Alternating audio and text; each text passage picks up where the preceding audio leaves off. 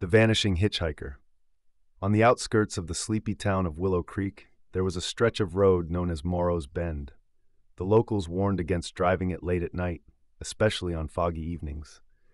The legend of the vanishing hitchhiker had been told and retold for generations, and each version was eerily similar. It was a cold, misty night when Jack, a young college student returning home for the holidays, found himself driving down Morrow's Bend. The fog was thick, and his headlights barely pierced through the heavy blanket. As he rounded a sharp curve, he saw her, a young woman standing by the roadside, shivering in the cold, her thumb outstretched for a ride. Jack hesitated for a moment, remembering the stories he'd heard, but his sense of duty overcame his fear. He pulled over and rolled down the window. Do you need a ride? he called out. The woman nodded gratefully, her face pale and eyes wide with relief. She climbed into the back seat, thanking Jack softly. She wore a thin, white dress, ill suited for the chilly weather, and her hair hung in damp strands around her face. Where are you headed? Jack asked, trying to make conversation.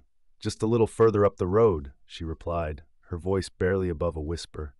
There's a house near the old cemetery. Jack's unease grew, but he nodded and continued driving. As they neared the cemetery, the fog thickened, and a sense of foreboding settled over him. He glanced in the rearview mirror, but to his shock, the back seat was empty. The woman had vanished without a trace. Panicked, Jack pulled over near the cemetery gates and stumbled out of the car. He looked around, calling out, but there was no sign of her. His heart pounded as he realized he was standing at the edge of the old cemetery. Driven by a mix of fear and curiosity, Jack walked through the creaking gates. The cemetery was ancient, overgrown with weeds and shrouded in mist.